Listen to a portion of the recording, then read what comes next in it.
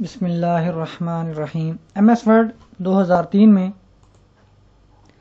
Zoom کا جو option ہے وہ کیوں استعمال ہوتا ہے اور اس کے کیا ایڈوانٹیجز ہیں جب آپ ایم ایس ورڈ پہ کام کریں۔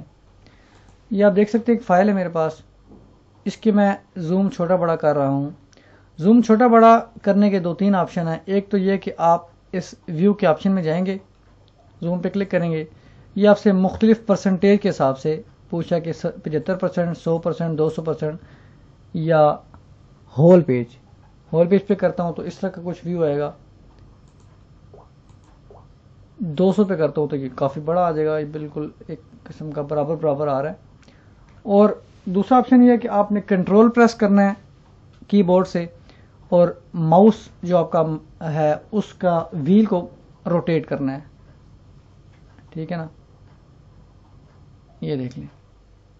آگے اور پیچھے کی طرف روٹیٹ کریں گے تو یہ اس کا زوم چھوٹا بڑا ہو جائے گا۔ اس کا زوم کا یہ فائدہ ہے۔ اب آپ یہ دیکھ سکتے ہیں کہ میں بڑے آسانی سے دیکھ رہا ہوں کہ اس جو میں میری فائل ہے، اس کی کیا ایڈجسٹمنٹ ہوئی ہوئی ہے؟ سیٹنگ اس کی کیا ہے؟ یہ دیکھ سکتے ہیں۔ پیٹیشنر کہاں پہ رسپونڈنٹ کہاں پہ؟ بالفرض اگر یہ درمیان میں ہے اور میں اس کو لیفٹ کرنا چاہتا ہوں کنٹرول رائٹ کرنا چاہتا ہوں تو کنٹرول آر پریس کروں گا رائٹ کر دیا.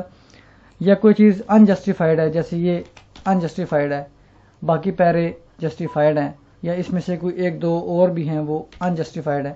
تو میں، مجھے آسانی سے نظر آ جائے گا، یا کسی پیرے میں اسپیس ہے، کسی میں نہیں ہے، یا میں ہر ایک پیرے پہ اسپیس رکھنا چاہتا ہوں، تو یہ میں اس طرح زوم چھوٹی، چھوٹے کروں گا زوم نارمل سی.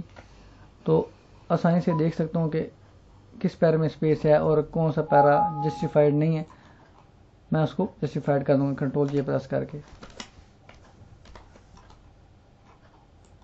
اس طرح آپ اس کا زومنگ کا جو آپشن ہے وہ استعمال کر سکتے ہیں۔ اور اس کے علاوہ اب یہ دیکھیں، میں نے زومنگ اور چھوٹے کی یہ دیکھ لیں۔ یہ اینڈ پہ آ گیا یعنی کہ یہ یوز لیس ہے، یہاں اس پیج پہ ہونا۔ اس کو یہاں پہ ہونا چاہیے یا اس کا میٹیریل تھوڑا سا بڑا کر کے ہم یہاں پہ لیں گے۔ تو مجھے کیا کرنا ہے؟ پڑے گا کہ اس کو نیچے سے لے کے اوپر تک یہ چاروں پیجز سلیکٹ کرنے پڑیں گے، یا تو میں کنٹرول چھوٹی بریکٹ دبا کے اس کا سائز چھوٹا کر دوں گا، اور یا بڑی بریکٹ دبا کے ایک اور اس کا سائز بڑا کر دوں گا، یا نیکسٹ پیج پہ لے جاؤں گا، یا اس کو بھی چھوٹا کر کے اس پیج پہ لوں گا۔ تو اس طرح آپ آسانی سے دیکھ سکتے ہیں کہ یہ ایک پیج کم ہوا ہے یا ایک پیج بڑا ہے، اور ہر پیج پہ کتنا میٹیریل آیا ہوا ہے۔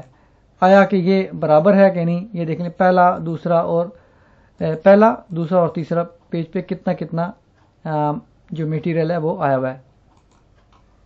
Thanks for watching